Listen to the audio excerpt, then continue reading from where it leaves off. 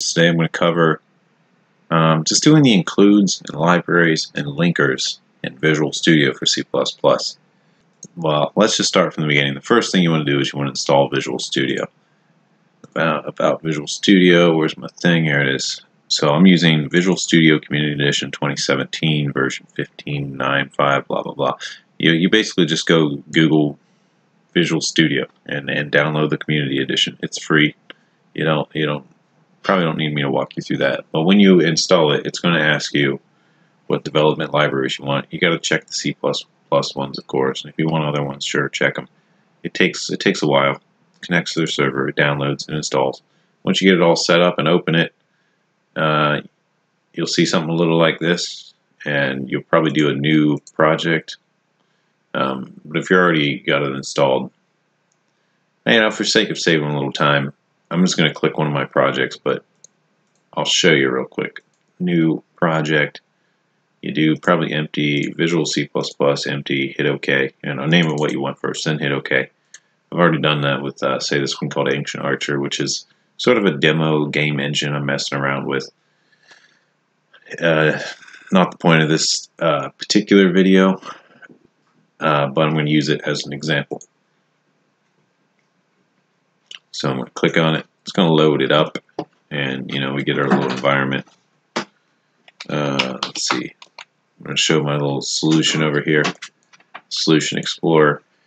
Control Alt L brings this up if you don't see it. Also, control semicolon brings it up and starts to search over here if you don't see it. Because you do kind of need to get over here and click on your top level, which is the name of your solution or project. And you right click on this and you go to properties. And it brings up this. Oh, wait. Let me just say, for the sake of uh, saving people confusion and time, that there's like a gazillion different ways to get to this little thing right here. I don't know why. I don't know why they're using so much time. You can also go up to Project, Properties, while you have it selected. You can also go up to Build, Configuration Manager. Now it's a little different. All right. There's other ways. Debug. You can go up to Debug, Ancient architecture Properties. Again, same thing. I don't know why they got a bunch of. There's probably like more spots you can find in it too. Tools, Options, is it here too? No, it's not. All right. That, that was one thing that kind of tripped me up for a while. I was like, wait, is this the same option? Why is it in so many different places? Uh, anyway, doesn't matter. Pick one of them. I like to go to project properties. But there's another thing. You got to make sure this is selected. I might have already said that. Because if you go here and then do it, you get properties for whatever folder you selected. So another weird thing. All right, so let's go here. We'll right click on this. Go to properties. And this is what I'm going to be talking about today is this little properties area. All right, there's three, I think three main things I kind of want to cover here. And, uh, okay, so there's configuration for this project you're working on specifically. And that's under this VC++ directories. This is project-specific stuff. Uh, there's this C++ one, C slash C++ one right below it. This is not project-specific. This is for your install of Visual Studio for any C++ project you do. Uh, so it's kind of global in that way. Probably to your user account. I imagine it doesn't go over other user accounts. But anytime you do a C++ project, it's going to inherit these settings that you change here. And the last one I'm going to touch is linkers. And this is, you know, just all about, mm, if you know anything about C++, you'll know that you have to link libraries when you compile. So this area kind of is where you do that. So we'll start at the top. I'm not going to touch anything else. I'm only going to talk about the stuff that I've even even messed with at all. So, uh, well, just for sake of being able to demo this project, I'm going to switch to a working branch because uh, this one is not. So give me a, give me a sec. I'll disregard this section. Where I'm at with this little demo engine is I'm trying to get model textures loading correctly so that I can kind of take the next step. Uh, but this branch doesn't really uh, work for demo purposes of showing you that all my linker stuff's working. So I'm going to switch to, uh, I don't know, a branch that works. This one here is fine. So bear with me a second. Yeah, there we go. All right, so I'm going to hit play here. Close some of the stuff.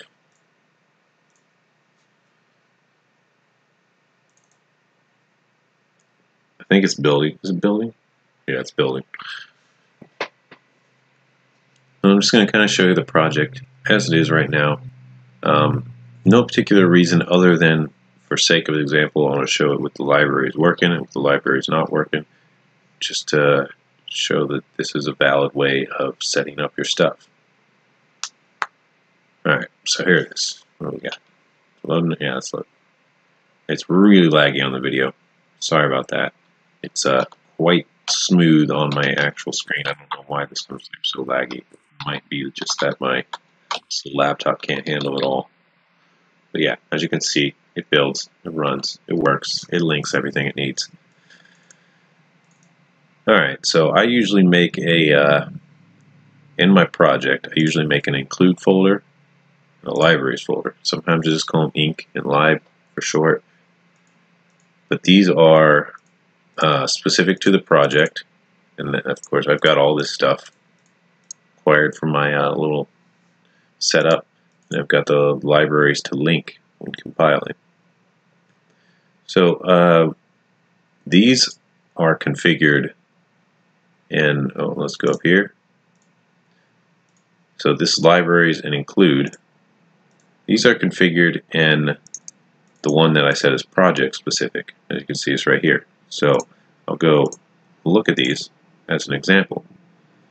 And as you can see, I'm using solution dir. Don't actually need the slash solution dir. Includes a slash. You want to use solution dir for these local ones because if someone else copies your project, their path is going to be different. And if you're using solution dir, it's going to automatically figure out the path. So it's solution dir, name your project, and then include if you got it on root level. I'm going to hit OK on that. Get it updated. Let me just double check. Yeah, it looks fine. It has an, an extra one in there, but uh, I'm not going to worry about that as long as it's got the right one. Might be inheriting that from somewhere else. Same with this one. The libraries, solution dir, name of the project, and then in there. So that tells it where to where to find the includes in the libraries.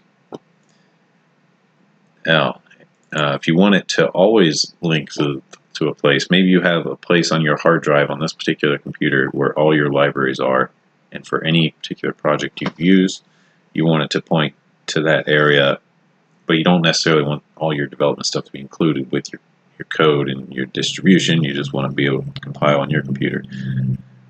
Uh, for example, I'll do a quick example.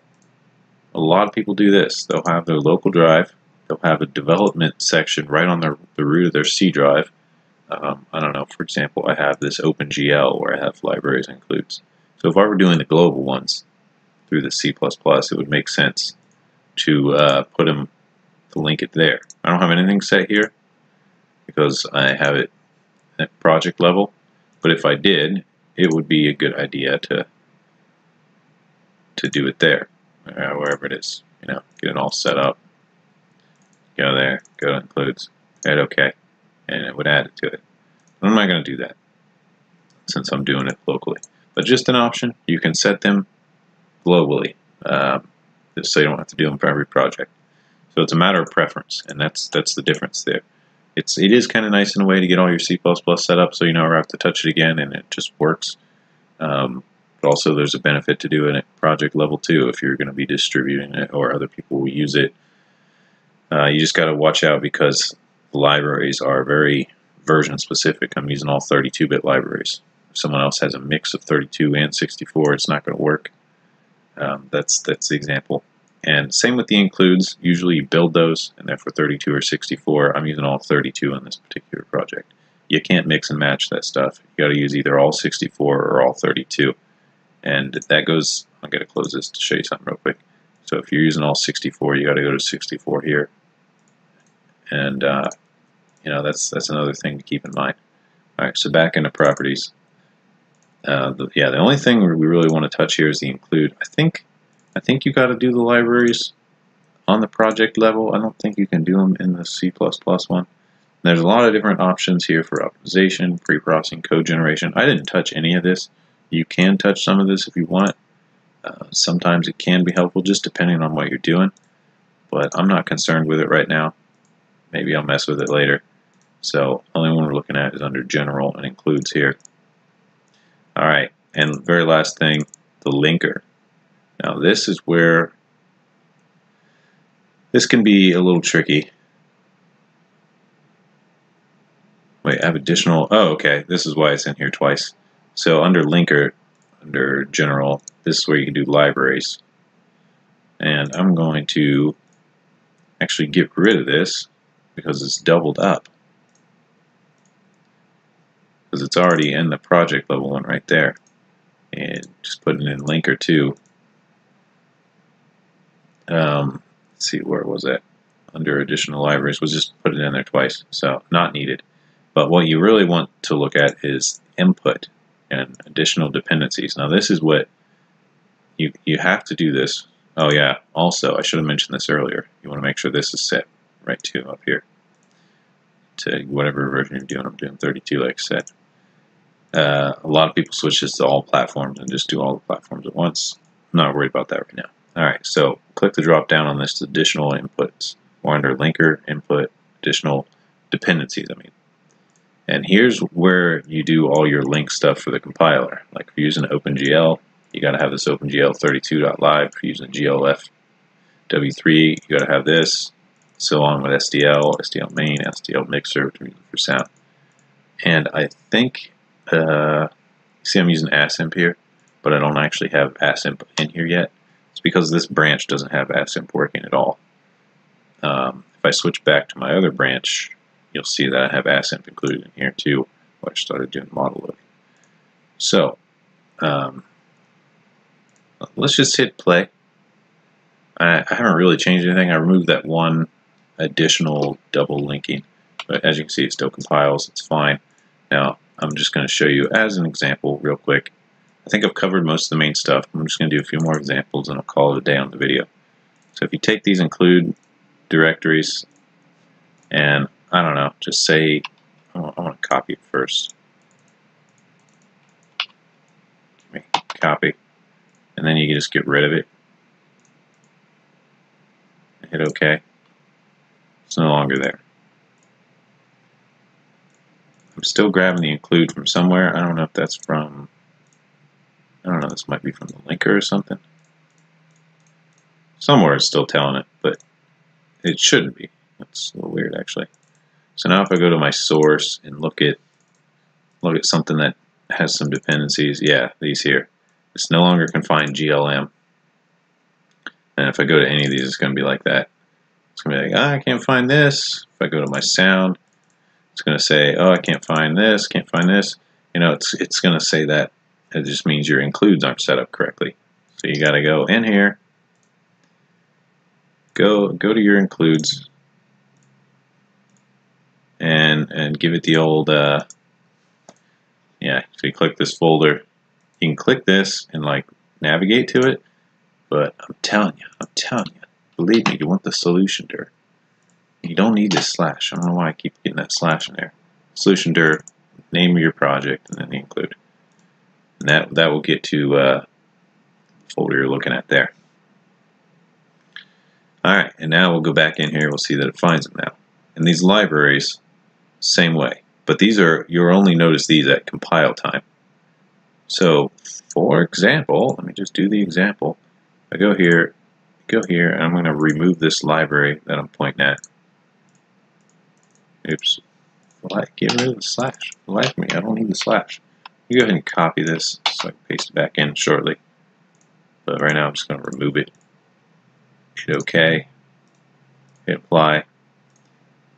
And now I don't have it pointing to these libraries. When I try to compile, I'm going to get all sorts of, uh, well, let's not talk about what just happened. Must have not removed it. No, it removed it. What's happening?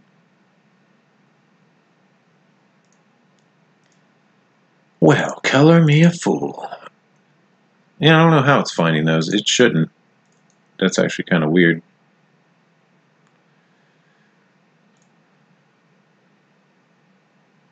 maybe it's getting it from these additional dependencies.